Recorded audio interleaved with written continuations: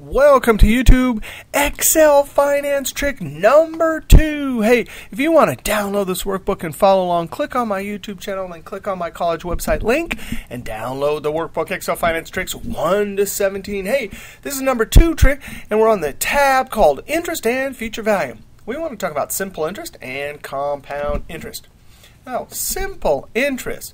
Let's say you put 100 bucks in the bank and they say we'll give you 10%. That means at the end of the year, they just multiply the 10% times the 100, and that's all you get. If you left it in here for many years, forget it. Every year when they paid interest, they would go to the original amount, the $100 you put in, and use the 10%. Let's see how to do this just for one year. By the way, throughout all these uh, finance tricks, when you put something in the bank, it could be either the amount loaned or the amount owed. Now, when you put money in the bank, guess what? You're loaning it to the bank. But when you borrow money, that means you owe it.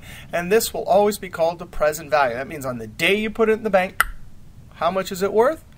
$100. The present value of that money is 100 bucks. All right, let's see how to calculate this. This interest, simple interest, equals 100 times the 10%. Enter.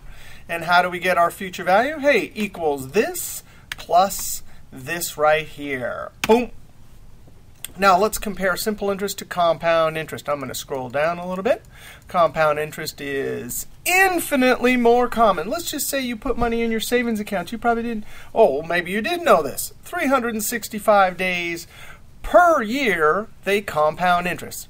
Here, let's look at a simple example. Let's say you put 100 bucks in the bank, they're going to give you 10%, but they tell you they're going to pay you interest 12 times a year. You love this. You like this much better than simple interest because you're going to end up with more money.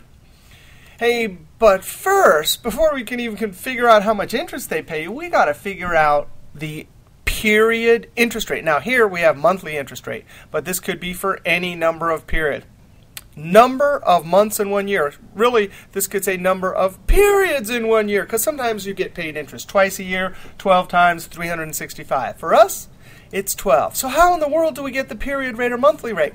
Simple, equals the annual rate or APR divided by your number of compounding periods per year.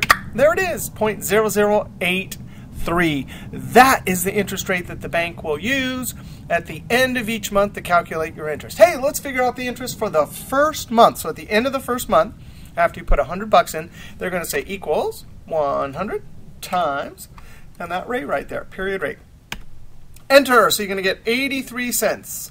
And then how do, what do they do? They put that in the bank, and then they uh, we are going to use the keyboard shortcut for adding Alt equals. That's auto sum functions in Excel guess wrong a lot. You can see the dancing answer dancing around the wrong cell. Simply take your cursor and highlight the right cell. So there it is, our beginning balance and our interest, 183. Here's compound interest, how it differs from simple interest. The next period, you're going to get interest on the 100 bucks plus the interest they already put in the bank. Let's do it. Equals one cell above, that means the balance from the period above, times and I'm going to click on my period rate, and I'm going to hit the F4 key once and twice. That dollar sign in front of the row reference means when I copy this formula down across the rows, it will be locked. Enter. I'm going to add these up. Alt equals. It doesn't guess right, so I'm going to highlight boop, boop. Hey, that's the balance uh, from the end of the first month plus our interest we got for the second month. Enter. There it is. Let's highlight both of these formulas. And whoa, wait a second. Click in this cell F2. Huh, that's a formula. Enter F2. Oh, that's a different formula. No way. You mean you can highlight two cells with different formulas and copy them down? That noise actually does help. Oh, look at that. Let's see if it works. Let's click on the second to the last cell in F2. Oh, I got that one right. Balance from above, from the end of the period above, times our rate. Enter, and then F2. Oh, there it is. Sum of the two above. So that is how compound interest works. And if you compare this, 10, 110.47, if you compare it to your simple interest, 110, we love compound interest. Now let's see a formula to calculate the interest. Now, actually, let's go down here and calculate our formula for uh, future value. I already have the interest and the future value, but I'm going to look at two formulas for future value and one for the interest only. Hey, I'm going to say equals, scroll up to my 100. I'm going to click on C19. That's the beginning balance. Then I'm going to say times, and I'm going to scroll up. Hey, wait a second. I can't just click there because that'll be my monthly rate. I'm actually going to scroll down here you can see it better right here. I'm going to put in parentheses 1 plus, and now I'm going to click on my period rate. There it is. Now, why in the world would you have to go 1 plus? I'm going to close parentheses, then we're going to have to do something else. The reason why is because 1 times the $100 gives us the 100, and this interest rate times the um, $100 there will give us the interest part of it. Now, that's just the basics of why this works when you do 1 plus that. But wait a second, that's still not going to work. What we really need to do to get the compound interest is raise it to the number of, number of uh, total periods. We only have one year here, so our total periods are 12. Hey, the exponent symbol is shift 6. That's a caret. That's why Bugs Bunny is so good at exponents. Caret scroll up and get my 12, and then enter. And there it is. Now, another easier way to do this, instead of, actually, I'm going to hit F2. See that, that formula right there? That's a very famous common uh, financial formula.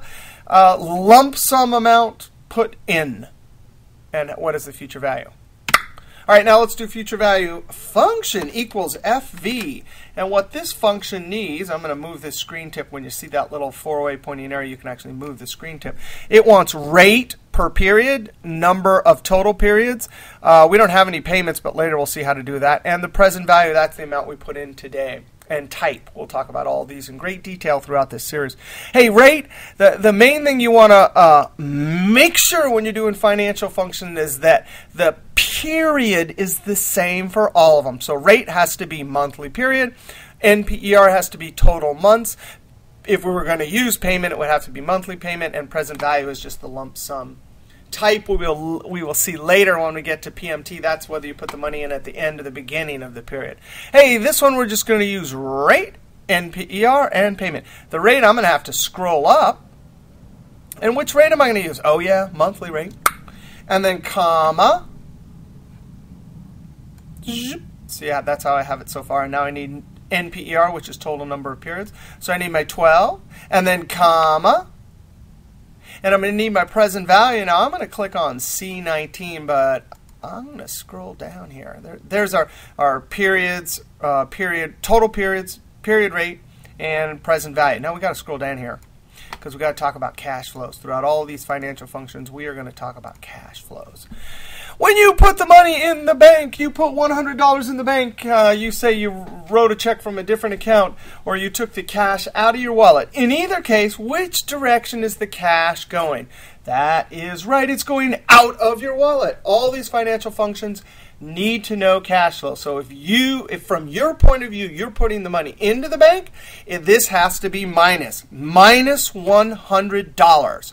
Minus $100. That means because it's coming out of our wallet, into the, the bank's wallet in essence. If the bank was doing this from their point of view, and we'll see some great examples of this later, this would have to be positive because when you give the bank a hundred bucks, that's a positive coming into their pocket. I'm going to hit enter. Wait a second. That is not right at all. We better edit this formula. Click in this cell and hit F2. Now here's a great trick. When you when you do a function like this and it's got a bunch of arguments, you got to be really careful. Now, here's one way to check it. I'm going to click on the blue one. It says rate. I'm going to click in the NPER, uh, the, the green one, it says NPER. I'm going to click in this uh, purple one, which should be present value. Ding, ding, ding, ding, ding, ding. There it is. That's payment. That would be great if you had the bank could calculate that way, but no way. We skipped that argument. So we have to very carefully click right there.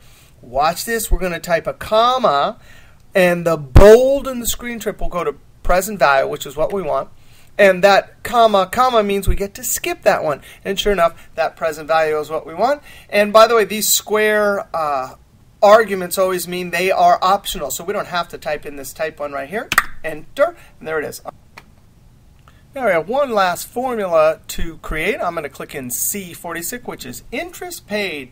I'm actually going to uh, move the column width, and I'm actually going to highlight a bunch of rows and hide them because it's too hard to see all the variables. Right click, hide.